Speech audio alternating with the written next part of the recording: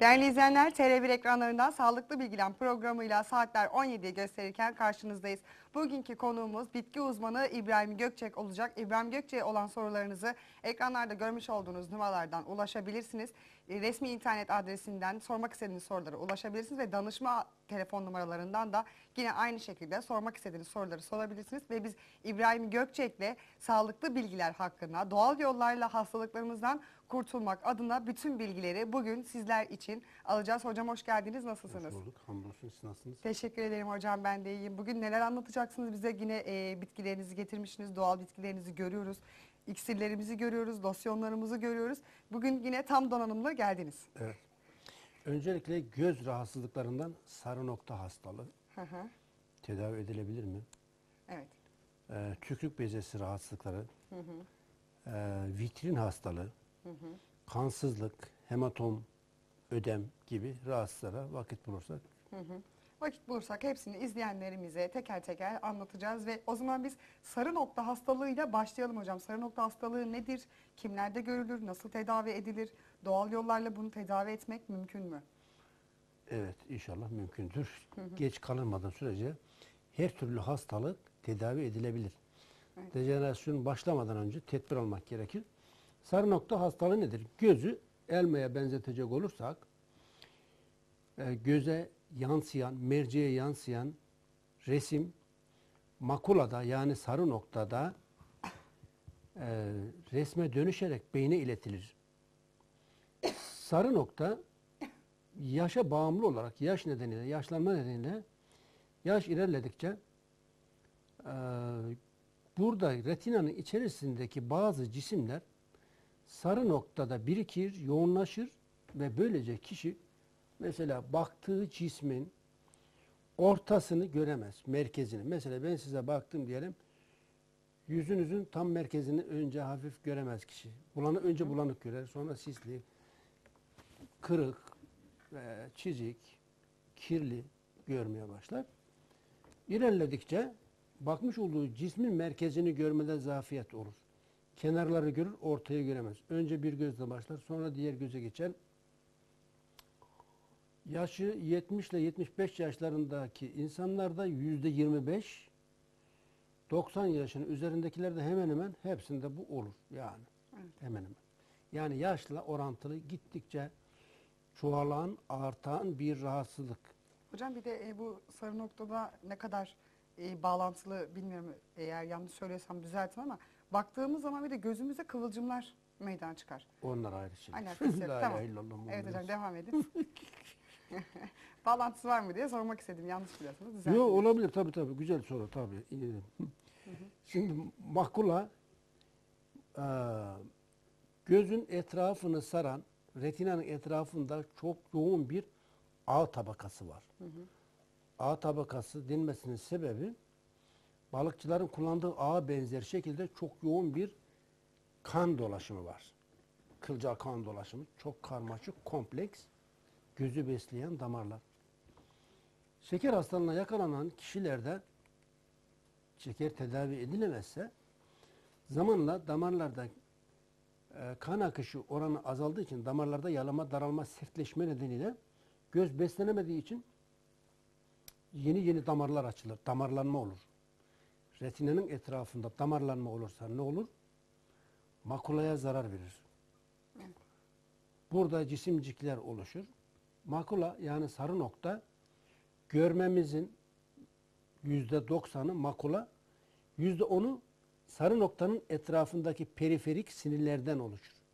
Yani resme baktınız resmin merkezi makula sayesinde olur. Mesela e, çevresi ise periferik sinirlerle olur.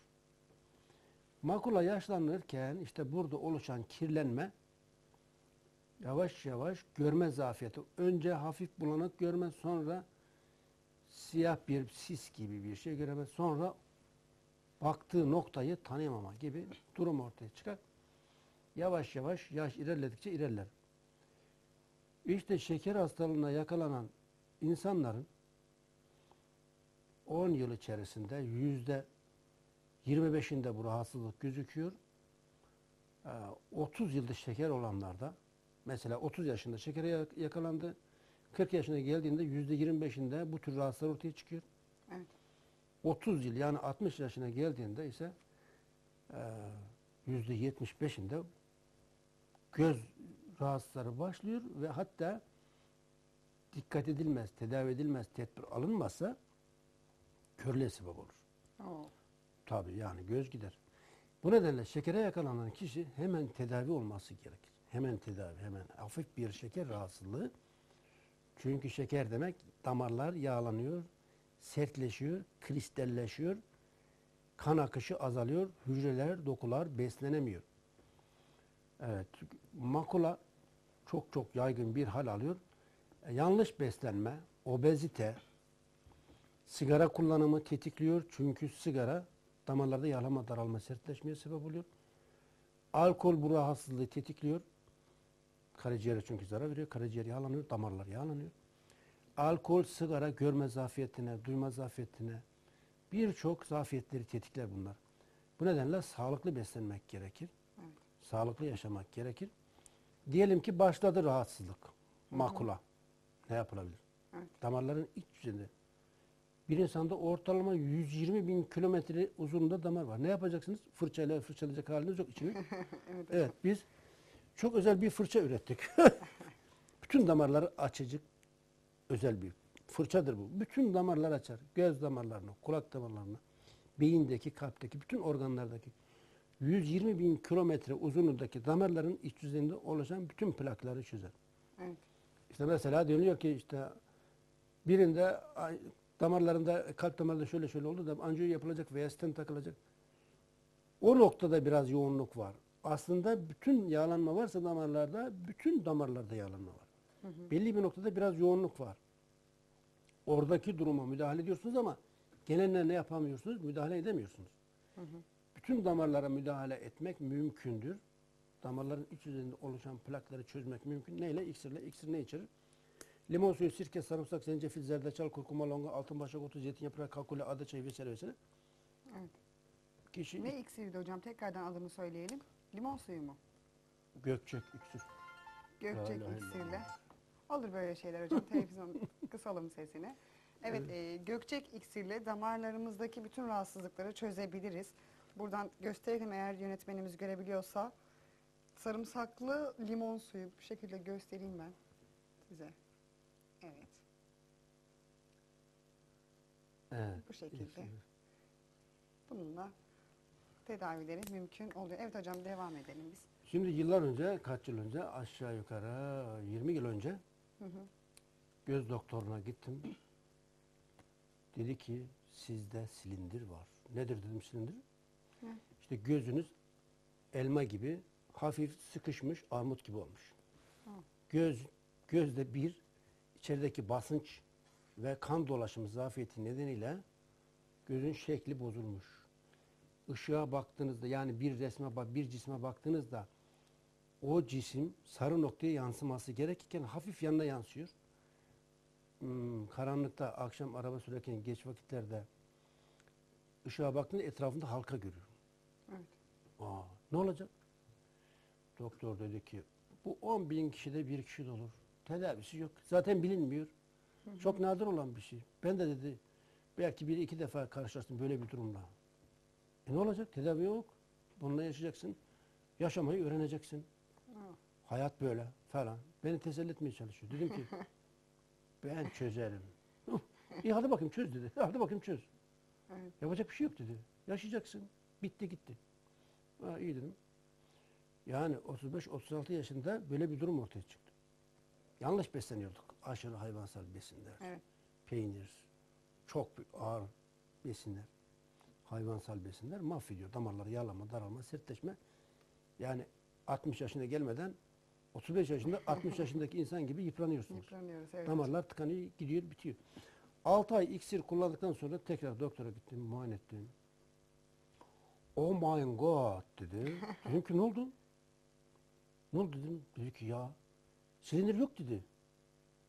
E nasıl yok dedim. Nereye gitmiş? Ben de anlamadım. Dosyaları çağır dedim hemşireleri. Dosyayı getirin bu adama dedi. Bir yanlışlık mı yaptınız dedi. Bunda e, silindir var dedi. Kaybolmuş dedi. Yok göremiyorum dedi. karıştırdılar. Yok efendim karıştı yok araştırdı inceledi. Bence de hayatımda böyle bir durumla ilk defa karşılaşıyorum.